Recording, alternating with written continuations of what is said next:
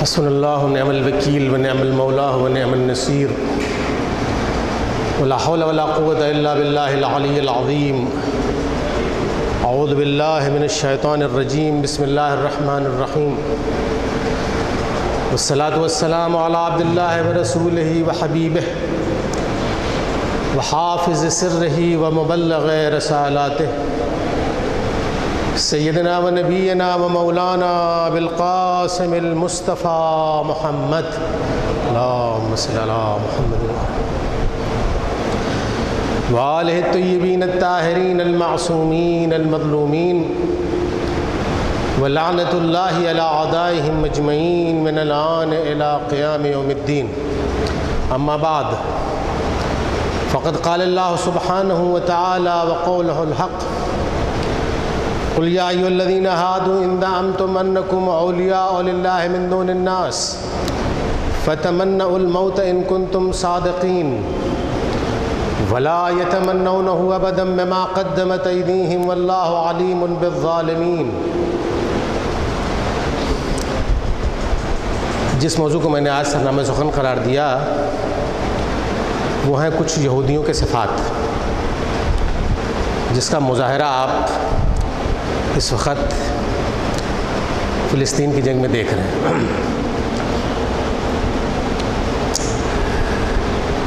खुदा बंद आलम पैगंबर से कह रहा है पैगंबर आप कह दीजिए, या अयुहल्लदीन आमन, या अयुहल्लदीन हादू ए यहूदियों, इन ज़ाम तुम अन्नकुम अलिया मिनदूनन्नास अगर तुम्हारा गुमान है कि तुम्हारे अलावा खुदा बंद आलम का कोई महबूब बंदा नहीं है। तो फ़तमन्ना मौत। फिर तो मौत की तमन्ना करो।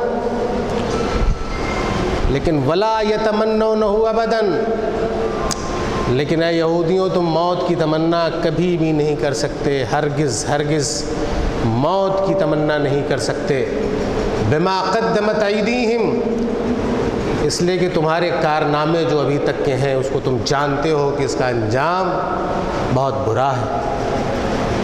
तुम जानते हो कि तुमने कितने गुनाह किए हैं, हवाए नफ्स की पैरवी की है, कितने लोगों को कत्ल गारत किया है, इसको जानते हो तुम। तुम्हारे गुनाह बहुत अजीम है, इसलिए तुम मौत की तमन्ना नहीं कर सकते। वल्ला अगर कोई महबूब खुदा होता है तो अपने खुदा से मिलने के लिए उसके दिल में तमन्ना होती है। और वो उससे नहीं मिल सकता, लेकिन उस वक्त मिल सकता है कि जब वो मर जाए, इसलिए कि मौत ही हायल है खुदा और बंदे के दरमियान में मुलाकात से। यानी अगर तुम खुदा बंद आलम के महबूब बंदे हो, उनसे मिलना चाहते हो तो मौत की तमन्ना करो। बग़ैर मरे तुम खुदा बंद आलम से मिल नहीं सकते। लेकिन वला ये तमन्ना न हुआ बदन तुम मौत की तमन्ना हरगिज़ हरगिज़ नहीं कर सकते। दमा कदमत दी हूँ इसलिए कि तुम्हारे कारनामे बहुत बुरे हैं। यहूदियों के सिलसिले में खुदा बंद आलम ने कुरान करीम में बहुत कुछ ज़िक्र किया है, बहुत कुछ। अगर किताबें ना भी मिलें तो कुरान करीम में उनको समझने के लिए काफ़ी कुछ आयतें मौजूद हैं। लेकिन ये बात याद रहे कि यहूदियों के मुतालिक जब कोई किताबें लिखी जाती हैं तो पूरा का पूरा एडिशन खरा, ये लोग ख़रीद कर उसमें आग लगा देते हैं। तो आपकी, आपको मालूम ही ना हो कि हम लोग किस सिफत और किस मिजाज के लोग हैं। यानी आप ढूँढने जाइएगा तो बहुत कम किताबें इनके मुतालिक मिलेंगी, इसलिए कि जहाँ पर कोई किताब छपी और इसने इनकी वाकईत को बताया और सच्चाई को लिखा तो फ़ौर पूरी किताबों के एक साथ ख़रीदा और आग लगा दिया। तो सबसे ज़्यादा हरीस कौम मादा परस कह सकते हैं, यानी यानी माल की इतनी ज़्यादा दोस्ती इसमें है कि किसी कौम में इतनी दोस्ती नहीं। यानी सबसे ज़्यादा महबूब इनके नज़दीक माल है। और मौत से तो बहुत फ़रार करते हैं। चुनानचे खुदा बंद आलम ने कुरान करीम में कहा, कुल इन्नल मौत लदी तफिरून मिन हो फ़हिन हो मुलाकी को वो मौत जिससे तुम फरार कर रहे हो, बहरहाल वो तुमसे मुलाकात करेगी, तुम भाग नहीं सकते हो। मौत से तो किसी को फरार नहीं है, लेकिन तुम भाग रहे हो, समझते हो कि ये मौत तुम्हें नहीं आएगी तो मौत तुम्हें आएगी। फ़ैन मुलाकीकुम सुम्मा तो रद्दूना आलमगैब व शहादा। उसके बाद तुम्हें पलटाया जाएगा आलम गैब और शहादत पर फ़ैनबुकुम बमा कुन तुम तामलून। तब तुम्हें ये पता लगेगा कि दुनिया में तुमने क्या कारनामे अंजाम दिए। ये कैसी कौम खुदा बंद आलम की दुश्मन। इसके कारनामे बच्चों को कत्ल करना, नस्लों को उजाड़ना, ये काम इसका है। तवज्जो फरमाइएगा। यानी अभी तक फ़िलिस्तीन में चार हज़ार से ज़्यादा सिर्फ़ बच्चे मरे हैं छोटे छोटे बच्चे मरे हैं, तवज्जो फरमाइएगा 2012 में एक इक्कीस रोदा जंग हुई थी गज़ा और इसराइल के दरमियान में तो उस वक़्त इन लोगों ने प्लान किया कि किस तरीके से हमला किया जाए उस मुल्क पर। और जब टाइमिंग का इन्होंने इंतखब किया तो ऐसा इंतखब इन्होंने किया कि जिस वक्त बच्चों की छुट्टी होती है, क्योंकि स्कूल दो शिफ्ट में चल रहे हैं, जब एक शिफ्ट जा रहा है और दूसरा शिफ्ट आ रहा है, बच्चे स्कूल से निकल रहे हैं तो ऐसी शिफ्ट का इंतखब किया जाता है। ताकि ऐसी सूरत में इनके ऊपर हमला करेंगे तो ज़्यादा से ज़्यादा बच्चे मरेंगे। इसको कौन कह रहा है? खुद इसराइली जनरल का बेटा कह रहा है कि मैंने इतनी दहशत गर्द कौम नहीं देखी है, कि जिसने ऐसे वक्त का इंतखब किया कि जब दो शिफ्ट में बच्चे पढ़ रहे हैं, एक शिफ्ट जा रही है, दूसरी आ रही है, बच्चे सब रोड पर हैं। ऐसी सूरत में इन्होंने हमले का इंतखब किया और सौ टन बमबारी की उन्होंने एक इलाका ख़त्म करने के लिए एक टन बम बहुत ज़्यादा होता है। सौ टन बम उनके ऊपर गिरा दिए। वो ख़ुद कहता है कि बताइए, इनसे बड़ा कोई दहशत गर्द हो सकता है। बच्चों पे ज़र्रा बराबर नहीं ऐसा। तो ये इनकी सिफत रही है रीज़ान मोहतरम।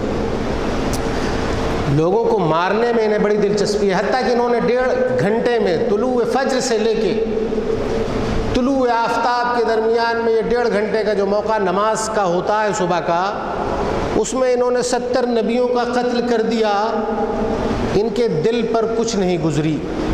इंसान एक मच्छर को भी मार देता है तो उसे तकलीफ़ होती है कि मैंने एक जानवर को मार दिया। लेकिन इन्होंने अम्बिया का कत्ल कर दिया, डेढ़ घंटे के अंदर में सत्तर नबियों का कत्ल किया और सुकून से बैठे हैं। दुकानें खोल के बैठे हुए हैं, कोई हर्ज नहीं। ये चूँकि अपने अलावा जितनी अकवाम हैं, उसको हैवान नुमा इंसान तस्वुर करते हैं। ये तस्वुर करते हैं कि जितने मखलूक़ हमारे अलावा यहूदियों के हैं, वो हैवान नुमा इंसान हैं, वो इंसान नहीं हैं। उनकी शक्लें, उनकी सूरतें तो इंसानी हैं, लेकिन खुदा बंद आलम ने मेरी खिल, मेरे खिदमत के लिए इन्हें खल किया है। वो चाहे मुस्लिम हो या गैर मुस्लिम, किसी के लिए भी, माँ सिवा यहूदी। उनके मुतालिक इनका यही नज़रिया है कि वो हैवान नुमा इंसान है। लिहाजा उनको कत्ल करने में इनको ज़र्रा बराबर भी तकलीफ़ नहीं होती है। बड़ी आसानी से कत्ल करते हैं। मैंने एक किताब थी, सैयद मोहम्मद शिरादी के भाई, सैयद मोहम्मद शिरादी साहब, जो सैयद मोहम्मद सादिक शिरादी के बड़े भाई, बड़े पढ़े लिखे आदमी थे, उनकी किताब दुनिया बादीचे यहूद में। मैंने इस चीज़ को पढ़ा कि उन्होंने लिखा तवज्जो फरमाइएगा, इनकी कसावत कलबी को देखिए आप। तब आपको अंदाज़ा होगा कि कैसी कौम है। उसमें उन्होंने इस बात को लिखा कि रूस में इसराइल की सफारत खाने के सामने से एक बच्चा गायब हो जाता है, लेकिन किसी बड़ी शख्सियत का वो बच्चा होता है, लिहाजा वो ढूंढवा लेता है। पता लगता है सफारत खाने की एक खातून ने जो नौकरानी थी, वो इस बच्चे को पकड़ कर ले गई, दो से तीन साल का बच्चा। और वो दिन यहूदियों के ईद का दिन था। उस दिन इनके यहाँ खून की रोटियाँ खाई जाती हैं। बहुत ताज्जुब से आप देख रहे होंगे कि मौलाना साहब क्या बयान कर रहे हैं। आया ऐसा भी होता है, लेकिन अगर इनकी हकीकतों को आप दर्द कर लें, एक फ़ीसद इनकी बुराइयों को तो कोसों दूर हो जाएँगे। चूँकि इन तमाम चीज़ों पर पर्दापोशी की जाती है, लिहाजा इनके हक़ मालूम नहीं होते। वो बच्चा चूँकि बड़ी शख्सियत का होता है, वो ढूंढवा लेता है। पता लगता है फ़लाँ सफारत खाने के सामने से यह बच्चा फ़लाँ खातून लेकर गई है। जब वो मिली तो पूरा वाक़ मालूम यह हुआ कि ये ईद का दिन था ये चूँकि इंसानों के खून की रोटी खाते हैं उस दिन, यहूदी, तवज्जो फरमाइएगा। इनके प्रोटोकॉल्स हैं, इनकी किताबें हैं, आप पढ़िए तो आपको अंदाज़ा होगा कि ये क्या चीज़ है। ये इनको लिए बच्चों को लाखों आदमी एक बम में मार दें तो उनके दिल पे तकलीफ़ नहीं होगी कसात कलबी का ये आलम है इनके, जिसका अंदाज़ा आप लगा ही नहीं सकते। चुनाचे उसे ले गए ये। सफारत खाने में पहुँची तो बहुत बड़ी मेज़, जैसे मीटिंग हॉल में मेज़ रखी होती है बड़ी। उस पर सफ़ेद प्लास्टिक और एक सफ़ेद गिलास रखा और बच्चे को उसके ऊपर बैठा दिया। उसके ऊपर बैठाया, जब बच्चे को तो सबके हाथों में सुइयाँ, उसे चुभाना शुरू की एक ने चुभाया तो दूसरे के गोद में बच्चा मासूम, दूसरे ने चुभाया तो तीसरे के गोद में, तीसरे ने तो चौथे के गोद में, चौथे ने तो पाँचवें के गोद में। यहाँ तक कि इतनी सुइयाँ चुभाई कि बच्चा वहीं पर उसने जान दे दी। और प्लास्टिक से उस खून को निकाल कर शीशे में रखा सफ़ेद, और उसके बाद आटे में गूंद कर उन्होंने रोटियाँ खाई। ईद के दिन, ये इनका मज़हब है। और क़ुरान करीम में बहुत कुछ इनके बारे में बताया हुआ है। यानी किताबों का पूरा पूरा एडिशन ये जला देते हैं। अगर तमाम चीज़ों को हटा भी लिया जाए तो मैंने कहा खुदा बंद आलम ने इतनी चीज़ें बता दी हैं कि कुरान करीम अगर आप पढ़ेंगे तो उनके सफ़ात का अंदाज़ा हो जाएगा। ये कैसी कौम है ईरान मोहतरम? खुदा बंद आलम ने फरमाया अहले ईमान से सबसे ज़्यादा दुश्मनी करने वाले यहूदी हैं। खुदा बंद आलम ने कुरान करीम में बताया और बड़ी ताकीद है, जो अरबी ग्राम से वाकिफ़ है, इसकी लताफत को वो जानते हैं कि खुदा बंद आलम ने किस अंदाज में इस जुमले का इस्तेमाल किया है कि जान लो, समझ लो, कान खोल कर सुन लो कि अहले ईमान से सबसे ज़्यादा अदावत और दुश्मनी करने वाले अगर कोई हैं तो वो यहूदी लिहाजा बाज़ लोग, जब हिजबुल्लाह की जंग थी उस ज़माने में इस्लाम ले आए। कहा कि सबसे ज़्यादा दुश्मनी रखने वाले इसराइली फ़लाँ से हैं। लिहाजा वो तो अहले हक़ हैं। लिहाजा वो मुसलमान हो जाते हैं, समझते हैं कि हाँ ये ईमानदार हैं। लिहाजा ईमान और बेईमानी का मैार बन चुके हैं। तवज्जो फरमाइएगा आप।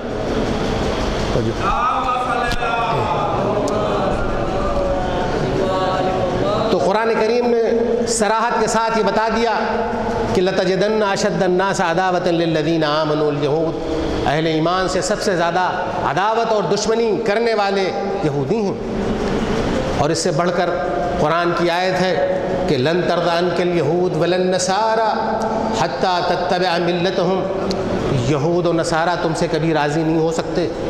यहाँ तक कि तुम वैसे हो जाओ जैसे ये खुद हैं।